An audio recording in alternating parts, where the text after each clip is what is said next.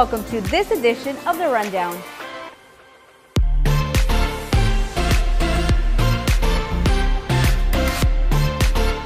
La Joya ISD hosts a Spring Literacy Tertulia on behalf of Zapata Elementary and Diaz Villarreal Elementary. All the La Joya ISD students and their families got to enjoy different literacy activities like face painting, book characters, and more. We invited the whole district to join us today to come and get some free books, to go through all these activities that have to do with reading and writing and STEM. Our community is very happy to have their event close to their home because they don't have to travel that long. We do ask our parents to please help us to make sure that they read at least half an hour on a daily basis. The Spring Literacy Tertulia is the perfect opportunity to bring the community together in one place to promote reading. All the La Joya ISD students receive free books to enjoy at home.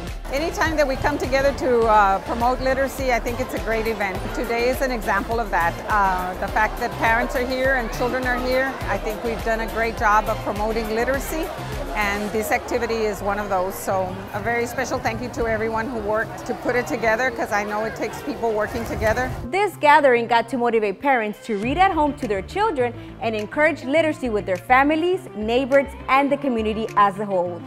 Congratulations, La Joya Palmview High School teacher John Grassi, who was named as a finalist for the 2018 HEB Excellence in Education Award, spotlighting him as one of the best educators in Texas. HEB representatives made a surprise visit to his classroom to present him with a $1,000 check for himself and a $1,000 for his school. As a finalist in the Rising Star secondary category, Grassi has the opportunity to compete at the state level against four others in his category for a cash prize of $5,000 for himself and $5,000 for his school.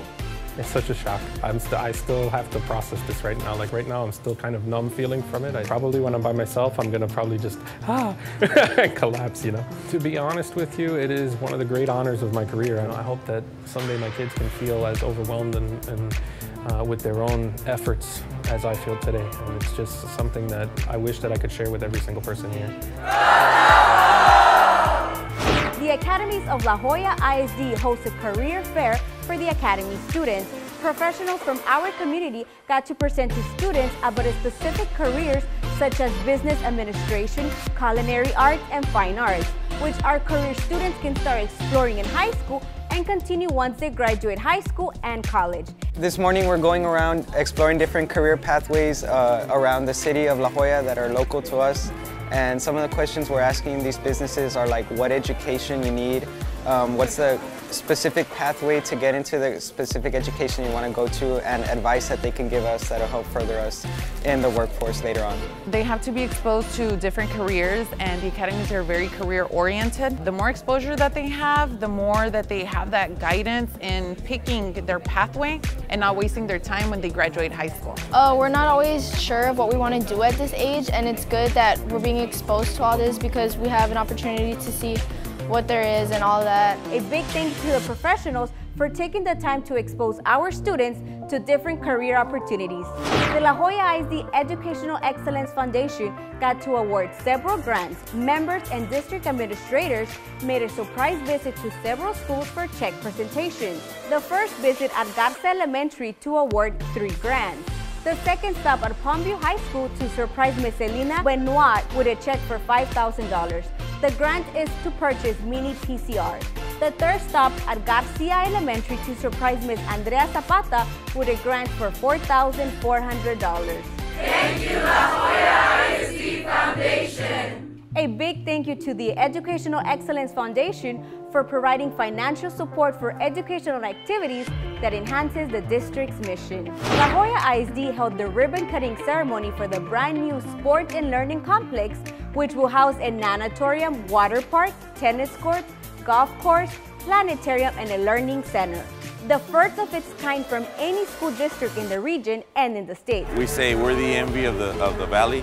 You know, we try to always put our students first, and this is just an example of it, of, the, of our beautiful natatorium, planetarium, and uh, it's a blessing to be part of a district that, that gives so much to our kids.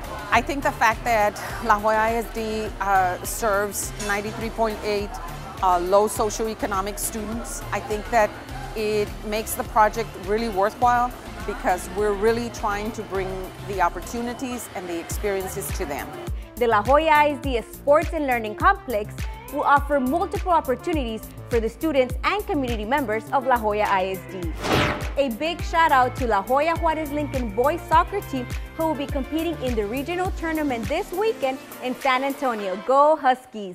Thank you for joining us and if you would like to see more stories and behind the scenes, be sure to follow us on YouTube, Snapchat, and Instagram. Till next time.